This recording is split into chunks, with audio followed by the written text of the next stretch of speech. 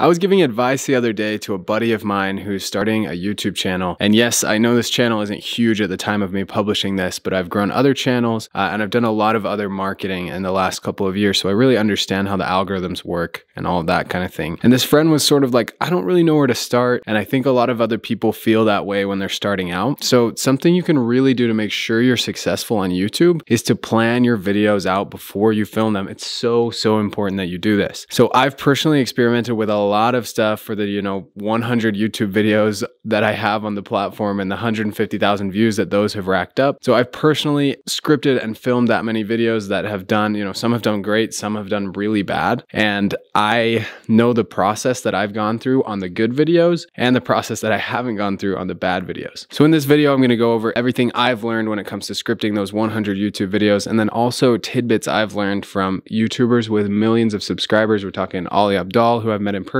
uh, Meet Kevin, Graham Stephan, these people that really understand the platform. And guys, just a quick plug before we go into that. If you're looking to buy any online course, just go check out Course Ranks. It's a ranking site for online courses. You're going to love it. It's amazing. You can trust the reviews on there. And without further ado, let's get into the video. So first, we're going to go over the biggest thing you need to focus on when it comes to YouTube. Then we're going to tell you what structure you need to follow when you're editing your videos and, you know, scripting those out, obviously. And then following that, we'll go over some common pitfalls that other and other questions that people usually have when it comes to scripting their videos. So first of all, the biggest thing you need to focus on, what is it? It's value. So value comes in a lot of different ways, guys. Entertainment can be value, being funny can be value, offering a different or unique perspective can be valuable. So you want people at the end of your video to subscribe because they're thinking, wow, that was amazing. I mean, this person offered insight that I have never heard. And, or, you know, that was hilarious. I want to see something more like that. Not because you asked them to subscribe. So you want them to subscribe because they like you, they like your content, not because you told them, hey, smash the like button and smash that subscribe button, and they don't even remember you. They don't know who you are, and they're not going to watch your videos again. So if you put those questions I just mentioned through the filter of, does this make my video more valuable? Then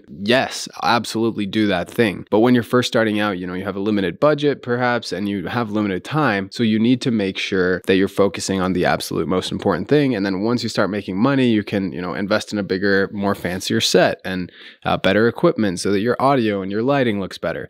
All of those things come with time, but scripting really is probably the first thing you need to learn when it comes to YouTube. And just a quick note, guys, on kind of scripting everything out word for word or just having some bullet points. I've done both and I've seen the benefits of both. So if you script everything out, it gets a little bit difficult to not sound monotone. But you can probably see some of the course ranks videos out there where I sound a little bit monotone. Not super ideal, but it allows you to have a very, you know, concise video that doesn't have any fluff and you, you're saying exactly what you want to say. But a video more like this, where I've listed out points that I want to talk about, you know, I'm a little bit more, I'm not so monotone in this video. And so the people on the other side of the video tend to just enjoy that more when it's valuable. You know, I spent quite a bit of time putting this video together. I've had, you know, two years of experience with YouTube to back this up as well, but I'm not reading directly from a script. So in Meet Kevin's YouTube course, he calls this thought salad when you don't script anything out and you're just kind of like throwing stuff at your people that are watching the video. You're, you know, they're not like, oh, they're like, oh, I like this, but I'm not really sure what he's trying to communicate. There's some good ideas in here. Sort like a podcast where you have to listen to the whole thing instead of, you know, people come to YouTube because they want a 10, 15 minute breakdown of something that's really, really valuable. So you have to learn how to provide that. And just another thing to tack on to that, the skill that you need to develop as a YouTuber as a content creator online is to be able to talk without a script, to give coherent thoughts one after another without actually having to read it. And so the more you can practice that, the better. As you get started, you'll need more help. And then as you're progressing forward, you won't need as much of that help. All right, so that leads us into our next section about structuring your video and how to make it so people will actually watch it. So there's two ways to think about this. The first one is thinking about it as a five paragraph essay. You know, you wrote this, everyone's written these since like fifth grade. You have an intro, you have three body paragraphs, and then you have a conclusion where you kind of back up all of that argument and say your thesis again. The other way to think about your video is sort of like a movie. So you have the intro where you're kind of establishing who the character is, and then you have the rising action leading all the way up to the climax. And then at the end of the climax, it goes down there's the falling action, and then the movie ends. So as we go through the structure I'm about to outline, you'll see each of these things, kind of motifs of these in what we're talking about, and you can use whichever one works better for you or whichever one works better for the video you're outlining. So the first thing we have is the intro, right? And the first 15 seconds of your video, guys, is so, so important because if you don't establish your credibility, you don't help people understand why they should be staying, then they're just going to click off. You can see it in the YouTube analytics. I see it every time I go in. Yeah, when I haven't made a good video that's really enticing, that makes people want to stay, there's so much drop off in those first 15 seconds. So you really have the, you know, 15 seconds to a minute to establish, hey, this is the video you should be watching. So there's multiple ways to do this. The first one, Parker Walbeck in his Course Creator Pro calls this the why before the how. So this is where you talk about what you're going to talk about, but you have to answer the question of why you should watch before you tell them the how of whatever you're teaching them in your video. So there's a couple ways to this. The first one is to answer a question or to ask a question and then answer it. So for example, if I was making a YouTube video for my marketing agency, I would say, hey, a question we get a lot around here is how do I effectively market my business? So this video is my 10 steps for effectively marketing your business in 2021. I ask a question that a lot of people have, and then I go ahead and say, hey, we've got some steps. You know, I've got my paragraphs, even though in that there's 10 steps instead of three steps. I'm answering that question throughout the whole video, and it really increases the amount of time people want to watch. And then the other thing to keep in mind here is you need to give them a reason to stay in your video. So Ali Abdaal has this video about scripting YouTube content, which I'll try to find and put down in the description below. But he talks about this first part, establishing who the character is. You know, you have to establish some sort of credibility, relatability, or maybe vulnerability. When you're first watching, you know, the first 10 to 15 minutes of a movie, they're really establishing who that character is and why we should care about them. If not, we'd turn the movie off and we'd watch something else, right? So think about the first minute of your video like that as well. And then also in those first 15 seconds to a minute, you really need to establish what's in it for the person that's watching. Also, one thing to keep in mind, guys, don't ask for engagement too soon. If you have a really small channel, if you're just starting out, it's not very smart to say, hey, smash the like button, smash the subscribe button, and like, let's get into the video. Because why would somebody subscribe to you? You know, if only 10 other people have subscribed, it's not very enticing for them to subscribe as well before you've provided value. At the end of the video, after they see, wow, this person really knows what they're talking about, I want to subscribe to their channel, go ahead. That's a really good idea. But right now,